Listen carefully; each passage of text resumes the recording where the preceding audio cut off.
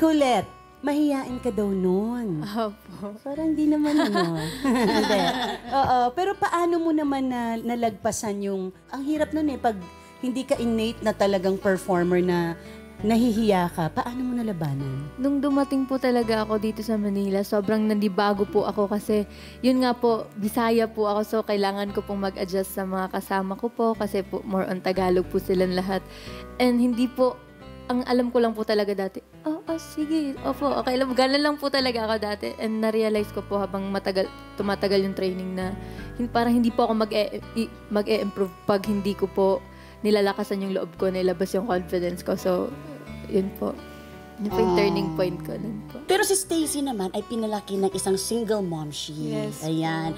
At ang momshi mo ang nagturo sa'yo sa choose your battles. 'di ba? Yes. Kumbaga, piliin mo yung mga mga worth it na ipaglaban. Anong nangyari? Bakit ganun ang sinabi ng momshi mo? Ayun nga po, as, um, since single mom lang po si mami, so dalawa lang po talaga kami.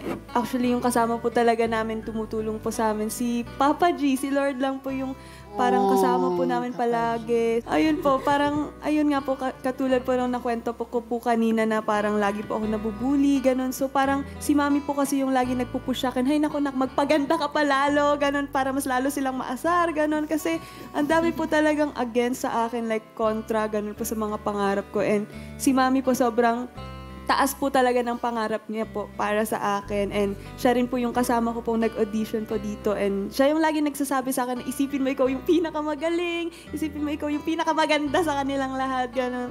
Yun po yung fighting spirit po. Aww. Iba rin talaga pag magulang, Ma'am, si no? Oma. Talaga ipupush tayo. And si Sheena, katulad din ni Stacy na talagang single parent din ang nagtataguyod sa'yo. At gusto talaga niya maging sobrang successful ka rin dito sa ganitong field, di ba? Pero anong nangyari, Sheena?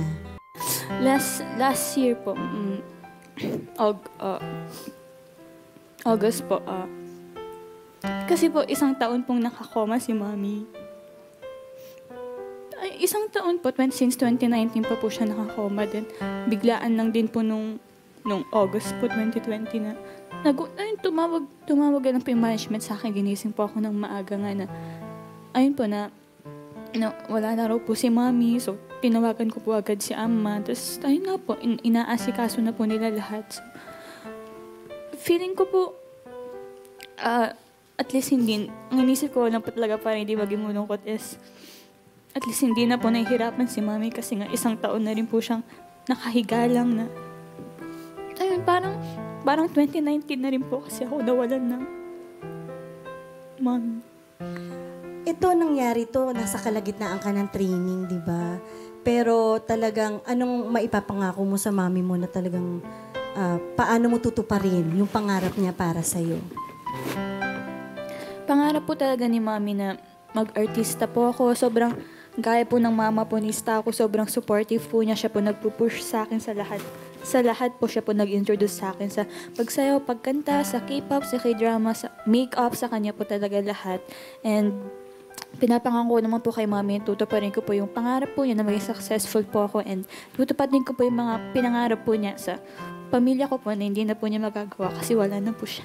Alam mo, kaya siguro talagang nakakayanan mo tong laban na to kasi talagang ginaguide ka niya. Nandiyan lang siya Yes, lagi nandiyan dyan si Mami. Oo. Alam niyo mga momshi, nakaka-proud talaga yung katatagan ng loob ng mga Beanie Girls natin, ano? Pero